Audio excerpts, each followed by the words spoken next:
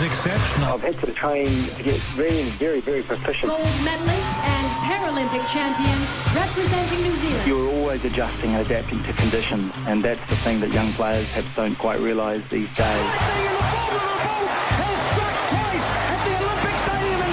You're listening to the Hyundai High Performance Hour. Let's um, let's get straight into it. Why are we going to be talking about astronauts and to Buzz Aldrin on the High Performance Hour? Well, I think, Andrew, that the, the main thing is that uh, the Apollo program was the ultimate definition of uh, dream a dream, uh, make it happen, uh, prepare like you've never prepared before in your life, and do something that was so far, you know, up there that. Uh, Well, it's still not being done again, has it? Hell no. So, I mean, that in itself is quite amazing that after all of this time, it's still not being done again. But it's but it wasn't just. I mean, I, I guess people think Star Trek. They think you know, just jump in the old spaceship and land on the moon. No dramas, no problems. But it wasn't quite that easy, was it? No, that's one of the things that we really want to talk about tonight is that to actually uh, uh, bring the uh, lunar module down to land was extremely hard. They had a lot of problems on the way down. Most people hear about the landing on the moon like, you know, somebody sort of got on a bus and go, went there. Yeah. Um, wait till you hear what happened. Okay, well, the, and there are some key areas. The, the key focus in terms of high performance is about the actual powered descent when it. when they when they they uh, clicked away into the lunar module. And uh, was that what it was called? Uh, yeah, absolutely. and, descent, yeah. and, and away they went down to the moon. So that's the key focus in terms of high performance. We'll talk about that a little bit more later, and also, of course, with Buzz Aldrin. But first up, we're going to hear from Buzz and talk about the takeoff. Uh, we're going to hear that countdown. But I want you to tell me just what was involved, first of all, in the takeoff as they set off for the moon. Well, I'll just tell you a little bit about the Saturn V rocket. It's uh, 110.6 metres high. That's the height of a 36 story building. It weighs 3,000 tonnes, which is the weight of a Navy destroyer. Uh, has a, develops 180 million horsepower. That's the power of 32 jumbo jets. Burns 13.3 tonnes of fuel per second and loses three quarters of its weight in fuel in the first 160 seconds. By that time, it's travelling at nine times the speed of sound. Uh, breaks the sound barrier in the first 40 seconds, goes from 0 to 10,140 kilometres an hour in two and a half minutes, goes from 0 to 28,162 kilometres an hour in 12 minutes, and has a top speed of 39,588 kilometres an hour. 30 seconds and counting. Astronauts report it feels good. T minus 25 seconds. 20 seconds and counting. T minus 15 seconds. Guidance is internal. 12, 11, 10, 9. Ignition sequence starts. 6, 5, 4, 3, 2, 1, 0. All engine running. Liftoff. We have a liftoff. 32 minutes past the hour. Liftoff on Apollo 11. Roger, we got a roll program. Tower cleared. Roger, roll.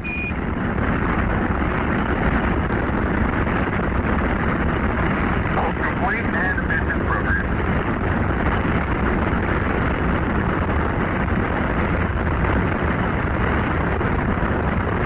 One Bravo.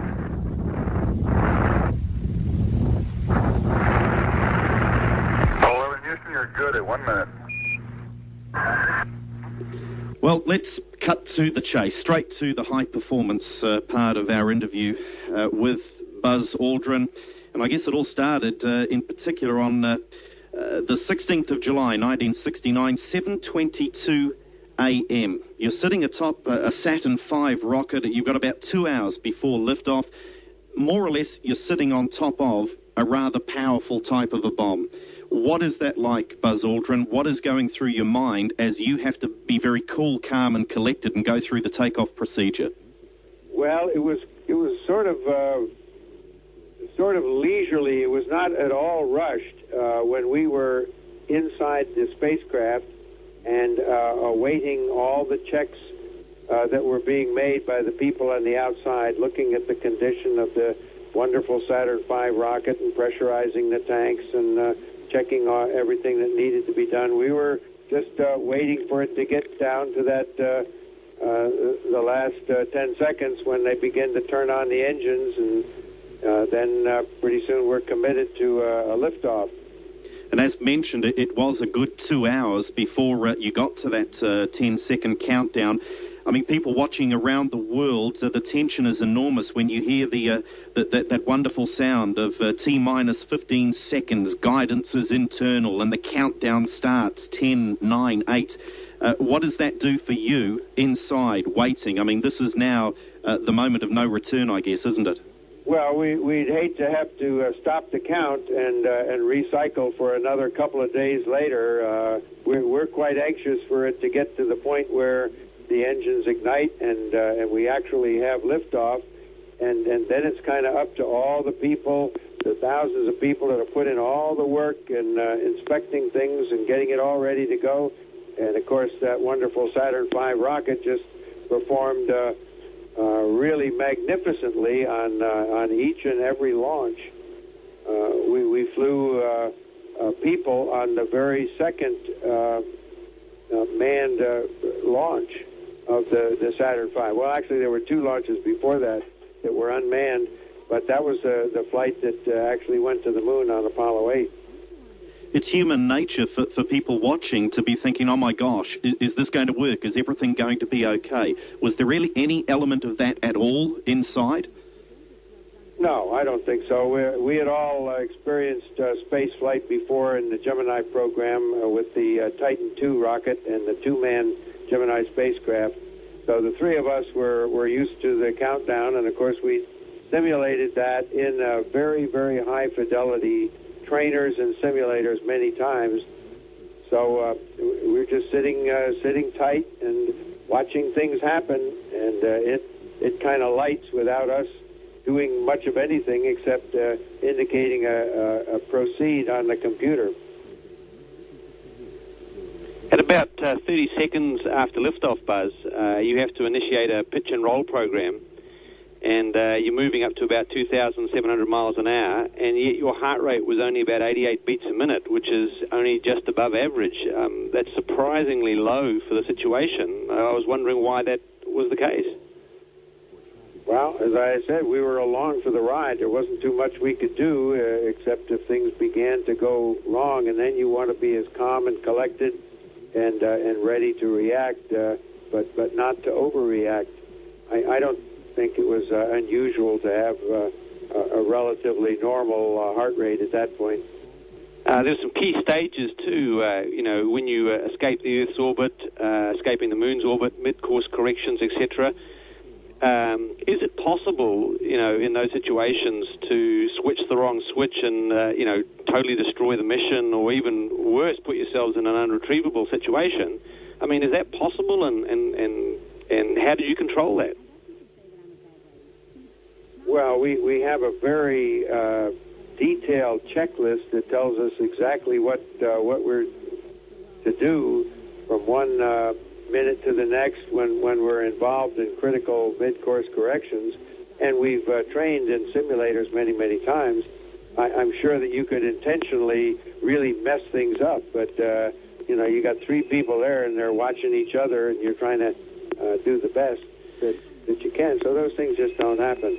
Buzz, what about the, the, the, elements of the unknown that perhaps you couldn't simulate, no matter how hard you tried? You couldn't simulate on Earth, and I guess there are elements of the powered descent. Uh, were, were, there any of those elements that there was still just a little touch of the unknown that you were heading into? Well, yeah, of course, the uh, the descent uh, um, with the lunar lander to the surface of the moon is something that had never really been done before, but we we practiced that many times in the simulator also. But then we were uh, a, bit surprised when some computer alarms came on uh, during the descent, and it distracted our attention uh, away from uh, what we were looking at and comparing what we saw at the window with what the computer was telling us. Uh, so uh, that plus some other things caused us to approach the landing site a little bit long, which meant that we were consuming a bit more fuel, and then we flew over some rocks and craters again, uh, taking a little bit more time. So by the, by the time we were 60 seconds of fuel and then 30 seconds, um, we, we were still a little bit above the ground, and we finally touched down with about uh, 15 seconds of fuel left, and that gave uh, both of us quite a sigh of uh, relief uh, as we then started going over the other things on the checklist.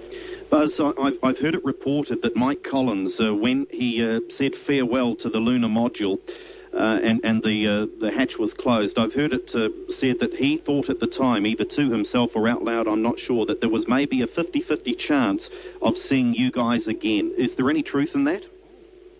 No, I, I, I think we all agreed that uh, survival of the mission was probably uh, on on the order of uh, 95 percent. Uh, that, that we stood a very good chance uh, of, of making it back safely.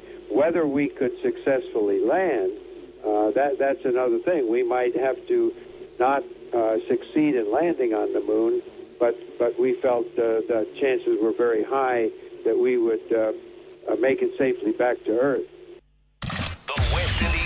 Of New Zealand, the second test. It's on now. Live from the Basin Reserve in Wellington on Radio Sport. The Kathmandu Christmas sale is on. Race in before Tuesday, spend $250 or more on a Retreat 10 and get a $50 Kathmandu gift card for free. See in store for conditions. If it's time to lock in a new family home, who should you trust? Lockwood Homes was voted the most trusted home building brand in New Zealand this year. With Lockwood, your home can be built faster with a proven construction system now certified by Codemark. Lockwood's commitment to consistency hasn't wavered in 62 years. Find out why Kiwis trust Lockwood more than any other home building brand. Design and build your home. Contact your local Lockwood builder today. Lockwood, New Zealand's home for good. Hi, Paul from Shawmount. Shawmount still have the best range of brackets and prices available in New Zealand. We simply cannot be beaten on the range and the pricing of LED, projector, plasma, or LCD mounts. We've got brackets from 19 inch TVs through to 75 inch TVs in stock. Shawmount is a locally owned company. All advice on mounting your LED, plasma, and projector is simply a phone call away. Shawmount.co.nz. Shawmount.co.nz. You can be sure if it's Shawmount. It'll soon be the holidays. The last thing you need is your transmission breaking down. So head into Casper Transmissions to get it serviced before Christmas and you'll get a free 10 point check. Plus, they're giving away 300 bucks worth of MTA vouchers every month. So getting your transmission service done with Casper just makes sense. See casper.co.nz or call. Phone 0800 Casper NZ. That's 0800 Casper NZ. G'day, New Zealand. It's your old mate, the Mad Butcher. With Christmas just around the corner, we've got some great deals this week with fresh New Zealand lamb leg roast, just $10.99 a kilo. Fresh New Zealand lamb shoulder chops, only $9.99 a kilo. And boneless butterfly legs of lamb, only $16.99 a kilo. Plus our famous Mad Butcher cooked on the bone, whole or half hams, only $9.99 a kilo. Visit the Mad Butcher website and go in the draw to win a $40,000 Harley Davidson for Christmas. The countdown to Christmas is on, and this week Countdown's cracker prices include New Zealand pre-packed strawberries, 250 grams, two for four dollars, and Cadbury or Pascall family bags, 130 to 230 grams, three for five dollars. Exclusions apply. Everyone shop smarter at Countdown while stocks last. Starts tomorrow, ends tomorrow, 9am till midnight. Briscoe's Christmas price breakthrough with more than 6 million items priced to sell. If you like saving money, it's the one day sale you cannot miss. Must end midnight tomorrow. Usual exclusions apply. Hyundai High Performance Hour with Andrew Dewhurst. Proudly brought to you by Hyundai New Zealand. We're now going to talk about the descent. Now, the, the powered descent. This, John, is where you see as being the high performance moment through all of this uh, this whole Apollo project. Tell us about the descent. I want you to take people through step by step, moment by moment, before we listen into the audio and then catch up with Buzz. What went wrong? Because plenty threatened to, didn't it? Absolutely. Well, what we had first is uh, so we've got 20th of July 1969, 2:35 Houston time, 12,192 meters above the moon. Uh, the Eagle lunar module detaches from the command module. Visual inspection, traveling at about 5,793 kilometers an hour. First thing that happens, lose radio contact. Can't land on the moon without radio contact. They fixed that. 10,211 metres above the moon. Uh, the radar kicks in to determine altitude. They have five 1202 alarms. These are executive overflows. When the computer gets too busy, it has to restart. They're bad things. Oh, absolutely. They're bad things. Threw flight control into turmoil. Uh, Steve Bales, the uh, lunar module computer uh, specialist, says go for landing. 610 metres above the moon, 1201 alarm. Uh, once again, a big problem. Another executive overflow, 80 kilometres an hour speed now. 335 metres above the moon, they've got to change location. They can't land where they were supposed to. 76 metres above the moon, they've got 90 seconds of fuel left, then 60 seconds of fuel left.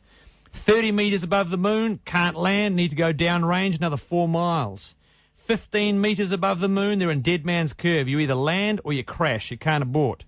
Seven metres above the moon, they're moving backwards. You can't land if you can't see, so they're trying to control that. 30 seconds of fuel left. Then 317 Houston time, 20th of July 1969 from the Sea of Tranquility. You hear Buzz Aldrin say, contact light. Okay, engines stop. Altitude, velocity, light. Eight and a half down. 220 feet. 15 forward. 11 forward, coming down nicely. 200 feet.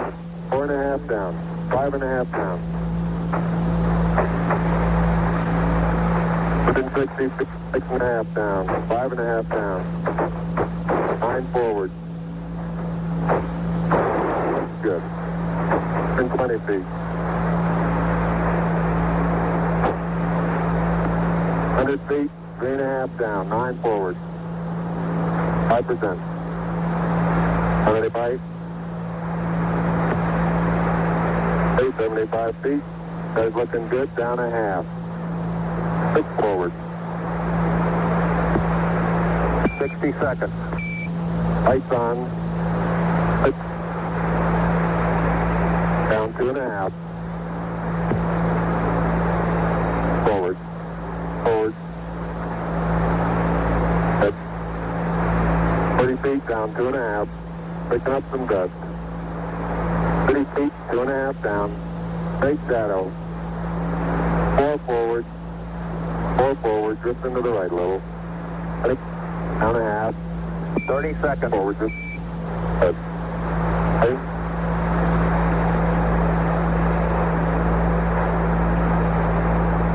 Contact light. Okay, engine stop. Houston, uh, Tranquility Base here. The Eagle has landed. Roger, Tranquility. We copy you on the ground. You got a bunch of guys about to turn blue. We're breathing again. Thanks a lot. I was wondering, Buzz, if we could um, just work through the, the powered descent because I think that uh, you know that there's a lot of uh, atmosphere to that, and uh, I know that at about 2:35 Houston time you began began the descent, and the first thing that happened was that you lost radio contact. Um, does this does this you know concern you guys, or is it very much uh, uh, just part of the the game? Well, when we came around the edge of the moon, uh, that was maybe uh, 20 minutes before we lit the engine. There, there was a little difficulty getting the antenna uh, oriented properly to get good communications. Um, and, and if that had, had not worked out, we could have gone around the moon one more time and then still uh, initiated the landing. But we did get good enough communication, and they were able to track the spacecraft and uh, and give us a correction to the orbit based upon that small amount of uh, uh, tracking by the Deep Space Network, so that uh, the uh, our computer had an improved knowledge of where it was when we actually lit lit the engine for the 11 minute uh, descent uh, burn. I also know that uh, you know you, you mentioned this before, Buzz, that uh, you had the computer alarms, the the 1202 alarms, uh, initially at about 40,000 feet, and uh, I also know that, that, that at Mission Control, just about everybody um, held their collective breath. How did you and Neil respond to this? Well, it distracted our attention, uh, and and of course the engine was uh, was running and descending and coming down. We really didn't want to uh, get get out the uh, the book and look through the book to find out what 1202 meant. And fortunately, uh, uh, uh, Bales was available and uh, was able to diagnose the uh, situation and uh, give us a clearance to, to go uh, and continue the descent un- unless the computer alarms kept coming up much, much, much more frequently. Uh, but, but they were only about once uh, every minute. And, uh, and after several of these, why, uh, th- th- then uh, it was clear that uh, it was just a distraction and uh, we would be able to continue on. Buzz, we, we know that Neil's heart rate at this time, as uh, you're in the descent, is at around uh, 155 beats a minute. So we are now starting to see the heart rates uh, rise. And, and yet, on the tape, on the recording, you guys sound like you're just off down to the, uh, the local supermarket or down to the park for a Sunday drive. Was this, though, clearly the most stressful time of the entire journey? Well, I think both of us uh, appreciated the difficulty and the, uh, the the uniqueness of controlling a spacecraft in a vacuum without air uh, by the thrust alone and the orientation to slow down uh, from an orbital speed to a point where we could then hover above the ground and make a gentle touchdown. The, the computer uh, was was very well programmed to, to do its task with the landing radar and, and the other guidance information that it had uh, to, to bring us to a good uh, position. But but we took over manually at about 500 feet and uh, and guided the spacecraft to avoid some of the uh, uh, small craters that uh, that were, were in our path. So we flew over those and uh, then then touched down with about 15 seconds of fuel left. The, the adrenaline, though, must have just been enormous. It's cliched, I know, Buzz, but is, is, is this the moment? Are you aware of that? Are you cognizant of that at the time, that this is the moment that uh, all of these thousands of man hours from yourselves and the rest of the team have been leading towards? Yeah, I'm sure we were aware of that, but uh, but you can't uh, let, let that weigh on your mind. You you do what's in front of you to to carry out uh, without as as much mental cloudiness. You want to be as clear-headed as possible, and uh, and that was that was the task that we trained to do, and we were able to do that successfully. So 317, July 20th, 1969, you hear uh, what you want to hear. Contact, okay, engine stop, you've landed. You've just achieved the greatest feat of mankind in exploration. What, what's the first thought? What goes through your mind? Well, we were very thankful. Uh, we looked at each other, and I patted Neil on the back, and then we went about uh, doing the things that we had to, to to check and make sure that the spacecraft was in good condition to stay on the surface and and not to immediately lift off again in the event we had a leak or something. And uh, so, so as the, the the next several minutes were uh, were unfolding, we were more and more convinced that we were safely on the ground and uh, and we could stay there for uh, the next several hours. At about uh, about ni- oh, nearly 10 p.m. Houston time, uh, Neil's on the moon, and you wait another 15 or so minutes before exiting the Eagle. Um, you know, the voice recordings say you know indicate you're very relaxed, um, and I guess around about 10:15, uh, you step onto the moon and uh, see that magnificent desolation. Um, what was that like? How did it feel? What what did it, what was it like? Well, it was real, but at the same time, it was unreal. And the word surreal, I think, uh, describes it pretty well. Uh, this was indeed a, a foreign, alien, out of this world situation, and uh, and we were there alone, uh, thousands and thousands of miles away from uh, everybody else except uh, Mike Collins. So uh, it it was a uh, an unusual situation, but I think we we felt in command and, and in control of everything we were doing. So uh, we just uh, went went from one uh, one item to the next in, in our checklist and in our set of procedures. Uh, we we practiced these before, and uh, pretty, pretty soon uh, after uh, you know hours of preparation and a simulated uh, uh, liftoff, two hours later, when Mike Collins came over uh, our position on the moon, then then we uh, started getting ready uh, in a uh, in a very relaxed but determined way to uh, to go outside the spacecraft for for a few two and a half hours.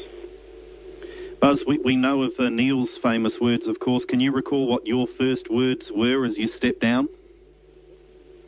Well, I don't think I, I had any uh, particularly symbolic words until I got to the point of saying magnificent desolation. Um, those two words, I think, the, the contrast between the magnificence of what we had achieved uh, with our uh, uh, human-built spacecraft landing on this object many, many uh, thousands of miles away from the Earth, and yet it was a very, very desolate uh, surface of the moon that we were uh, looking at. Just absolutely no life, a, a very tremendous stillness, um, magnificent desolation just uh, seemed to me to describe uh, what we were looking at. Yeah, one, uh, wonderful. Still sends a, a, tingle down the spine even uh, after all of this time. Is it is it the same for you? Can you still take yourself back there uh, at the blink of an eye and, and remember just what it was like? No, I'm afraid I can't remember everything about what it was like, but I uh, have described it many, many times and looked at the uh, the films over and over again, and the uh, radio transmissions. Uh, it, it, it sort of recreates the situation in a, in a partial way, but nothing like the real thing. The rocket on my way out. Particularly good thought. That's our home for the next couple hours. We want to take good care of it. Okay, I'm on the top step, and I can look down over the RCU and find the gear pad. It's a very simple matter to hop down from one step to the next. Yes, I found it to be very comfortable, and uh, and walking is also very comfortable. You, there, you got it. That's a good step. Yep. About a three footer. Beautiful view. Isn't that something? Magnificent sight out here. Magnificent desolation. Father Christmas, Old St. Nick, Santa Claus. He's known by many names across the globe, but did you know our Santa was a loud snorer? He should have seen the team at Alpers Dental. In most cases, they can help with this common problem. Enjoy the gift of a good night's sleep this Christmas thanks to Alpers Dental, recommended by Mrs. Claus. Sleep soundly these holidays. Visit alpers.co.nz or call 524 50 56. Radio Sport is basketball. Passion for the Breakers starts here. Finds it open, Mika Vukona, Vukona. With a big three-pointer. The ANBL is right here. The most powerful name in sport, Radio Sport. The Hyundai High Performance Hour with Andrew Dewhurst. Proudly brought to you by Hyundai New Zealand. Uh, Neil and Buzz, uh, the President of the United States is in his office now and would like to say a few words to you. Over. Hello, Neil and Buzz. I'm talking to you by telephone from the Oval Room at the White House. And this certainly has to be the most historic telephone call ever made. I just can't tell you how proud we all are of what you... For every American, this has to be the proudest day of our lives. And for people all over the world, I am sure they too join with the in recognizing what an immense feat this is. Because of what you have done, the heavens have become a part of man's world. And as you talk to us from the sea of tranquility, it inspires us to redouble our efforts to bring peace and tranquility to earth. For one priceless moment in the whole history of man, all the people on this earth are truly one. One in their pride in what you have done, and one in our prayers that you will return safely to earth. So, just uh, briefly then to take you back to, to growing up and, and what it was like to, uh, to to lead to this point. Was this all accidental, Buzz, or from a very young age was this destined for you? When when I guess what I'm saying is when did you first decide that you wanted to become an astronaut? Well, you know, my mother's maiden name was Moon. That that, that that is that is really an unbelievable. anything when I was growing up. You know, it was just another name uh, that my grandmother still had. Uh, my father was an early aviation pioneer, and he was a, a pilot at the uh, end of World War One and, and between between the wars. Uh, so I, I just felt like I wanted to fly airplanes. Growing up as a teenager during World War II, uh, I became more and more interested and decided to go to uh, the military academy at West Point. There wasn't an Air Force academy at the time, so when I graduated uh, third in my class in 1951, I uh, then went through pilot training and uh, successfully finishing pilot training. Uh, I was over in the Korean War in uh, 1953 and I shot down two MiG-15.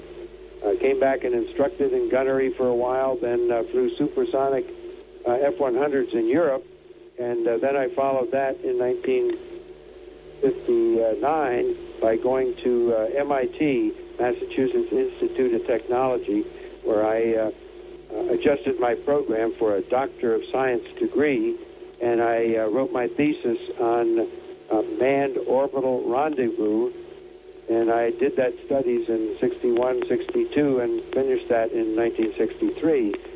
And uh, if you remember, John Glenn didn't even fly around the uh, the Earth as the first American until February of 1962.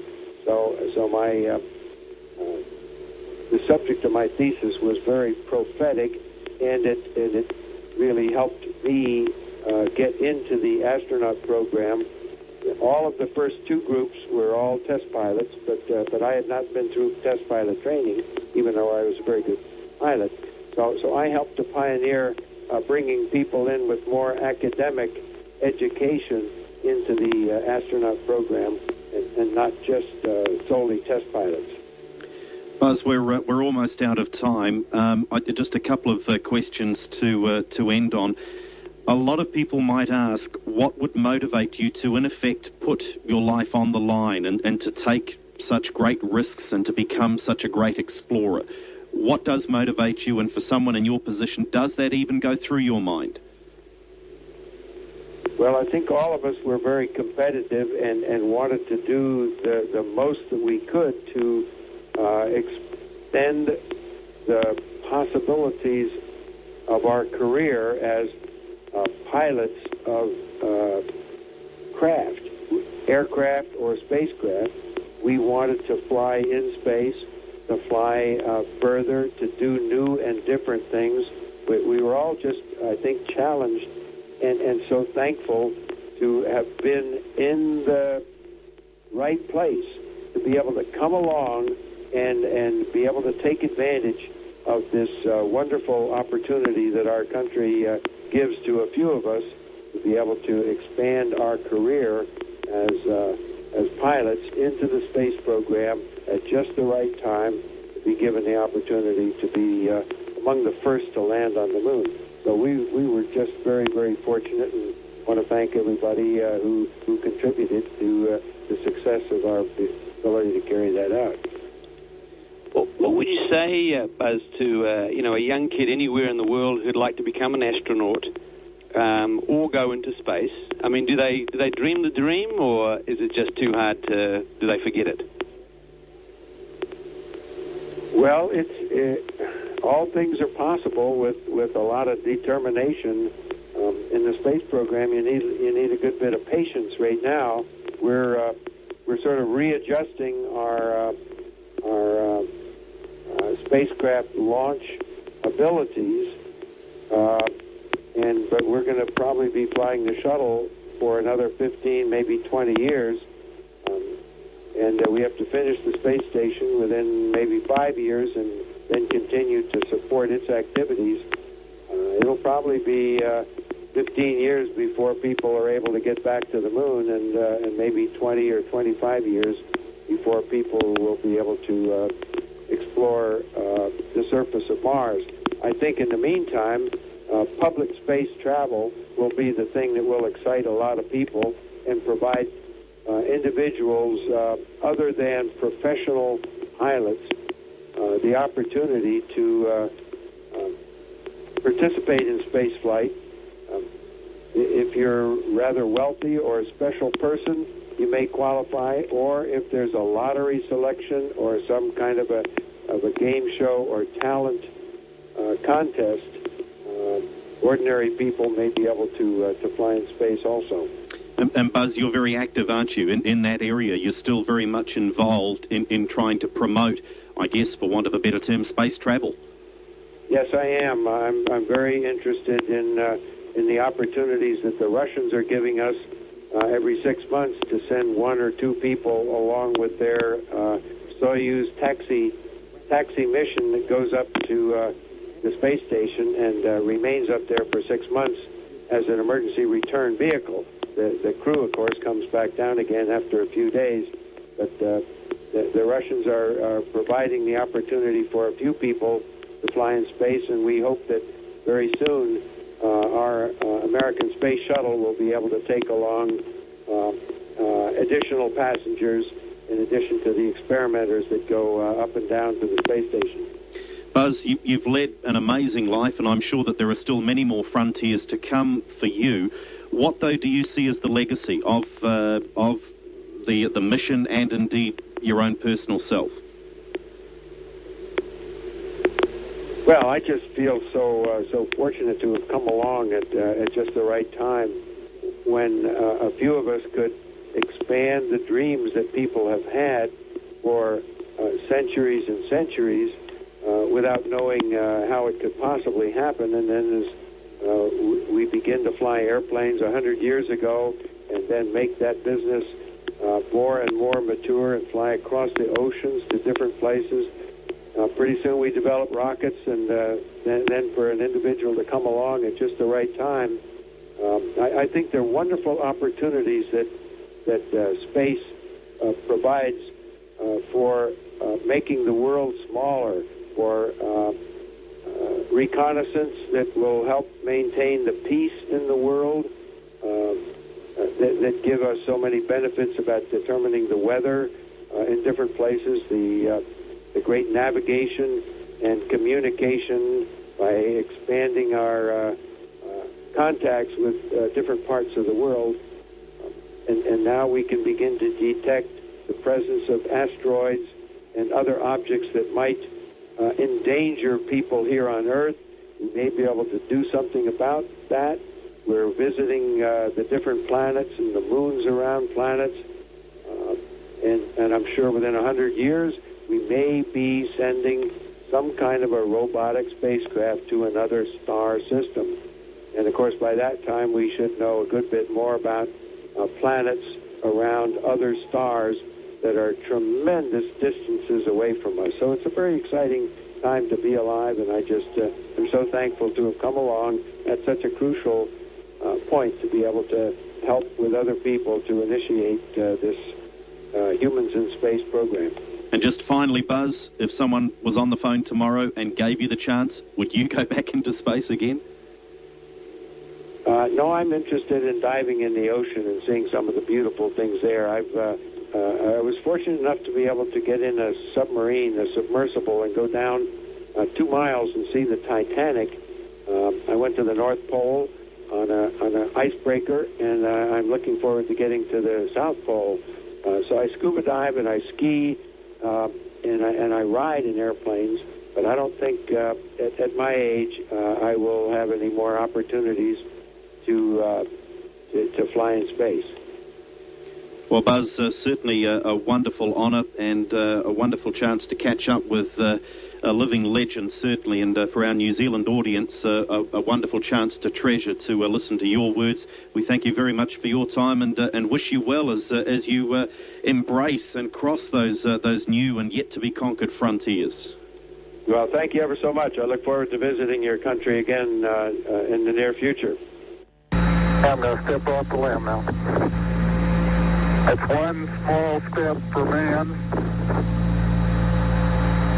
one giant leap for mankind.